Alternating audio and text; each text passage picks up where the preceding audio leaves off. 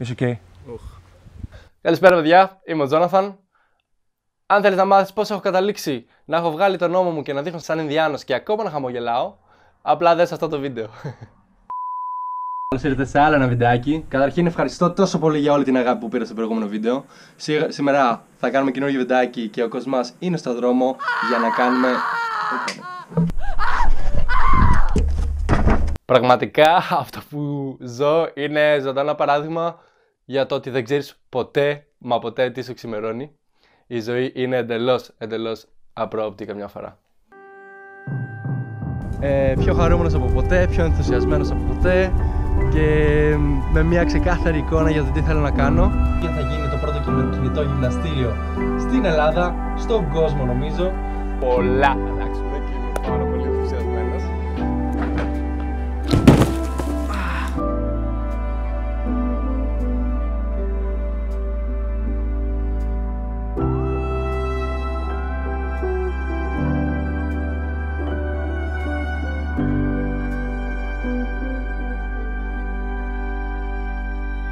Άρα σημαίνει ότι έκοψε του δύο συνδέσμους.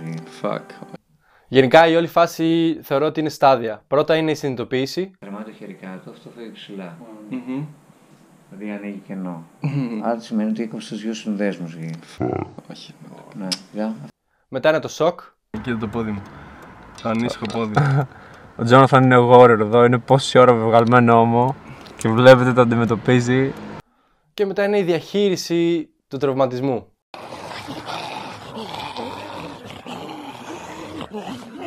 Η αλήθεια είναι ότι δεν με έχει αγγίξει ο τραυματισμός αυτός. Τι όπως και να έχει μάγκες, αυτό καμιά φορά κάποια πράγματα δεν είναι στον έλεγχό μας. Και το πιο σημαντικό είναι να μπορούμε να αναπροσαρμοστούμε στα νέα δεδομένα. Δεν πιστεύω να νόμιζα ότι αυτός ο τραυματισμός θα με κάνει να κάνω πίσω στα σχέδιά μου, έτσι. Ε, αλλά τώρα που το σκέφτομαι, πώς θα κάνω edit, ρε φίλε; Πώς θα γίνει το edit; Έτσι ρε μαλάκα. Στα αρχίδια μου.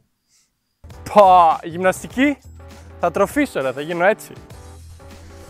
Γιατί ρε μαλάκα, πόδια δεν έχεις. Όταν γίνει το χέρι θα επαναφέρει το πάνω σώμα και θα γίνεις ακόμα πιο δυνατός.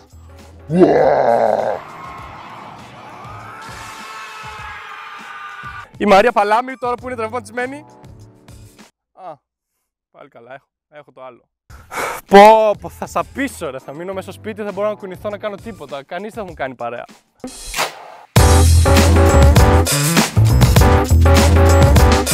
Παιδιά, βγήκα από το σπίτι και νιώθω υπέροχα.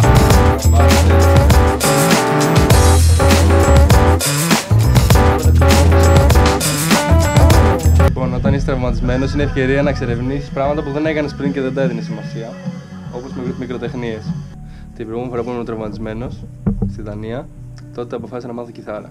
Ήταν από τις πολύ καλές επιλογές. Οπότε τώρα μπορεί να μάθω να κάνω κάτι με τα πόδια μου. Αν έχετε κάποια ιδέα τι θα μπορούσα να κάνω με τα πόδια μου, γράψτε κάτω σε comment. Γενικά, παιδες, η σκέψη μου και η άποψή μου πάνω στο τι έχει γίνει είναι στην ουσία μια απώλεια. Όπως όταν ένα μικρό παιδάκι χάνει το παιχνίδι του, στο οποίο είναι πάρα πάρα πολύ δεμένος, νιώθει μια απώλεια και χάνει τη γη κάτω από τα πόδια. Όταν χάνεις τη λειτουργία εν, ενός κομματιού του σώματό σου που έχει συνηθίσει να λειτουργεί στην καθημερινότητά σου, είναι μια απώλεια και πρέπει να προσαρμοστείς. Όταν χάνεις ένα άτομο από τη ζωή σου, ένας άνθρωπος πεθαίνει και φεύγει από τη ζωή, είναι και αυτό μια απώλεια. Όταν έχεις συνδυάσει συγκεκριμένα πράγματα μαζί του. Αλλά η ζωή είναι ζωή. Δεν είναι όλα θετικά, δεν είναι όλα ωραία. Το θέμα είναι να, μπορείς να αναπροσαρμοστείς. Η ζωή συνεχίζεται. Δεν πρόκειται να περιμένεις ένα. Οπότε πρέπει να ξανανεύεις στο τρένο, ρε φίλε. Πρέπει να... Γιατί όσο εσύ περιμένεις να ανέβεις στο τρένο, αυτό θα φύγει, θα φεύγει μακριά. Και είναι μόνο ένα το ταξίδι, έτσι. Γι' αυτό Ό,τι και να γίνει στη ζωή σου, ρε φίλε, ό,τι αρνητικό και να γίνει, μην παραμερίσει τα όνειρά σου, μην αφήνεις τον εαυτό σου στην άκρη. Δες, ωραία, είμαι ανάπηρος, δεν μπορώ να κάνω συγκεκριμένα πράγματα. Τι μπορώ όμως να κάνω για να συνεχίσω να είμαι επιβάτη σε αυτό το τρένο.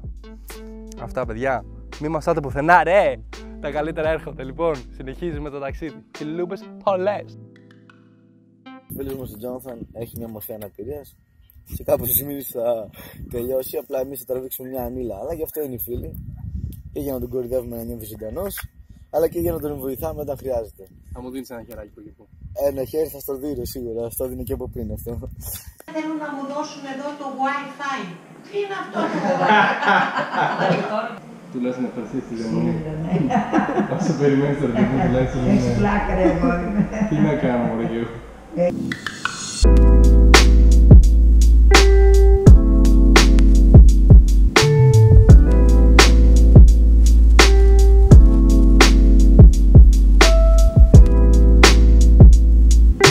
ανθρώπους γύρω σας να σας βοηθάνε σε απαραίτητες καταστάσεις, γι' αυτό να τους επιλέγετε.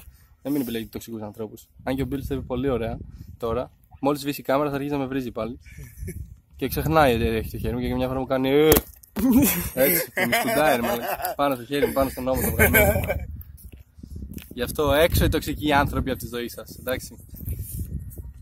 Κάντε like, subscribe και αφήστε ένα σχόλιο παρακαλώ Πώς θα γίνει το επόμενο βίντεο καλύτερο; Η φωνή μου δεν θα γίνει καλύτερη, πας να ξέρετε, εντάξει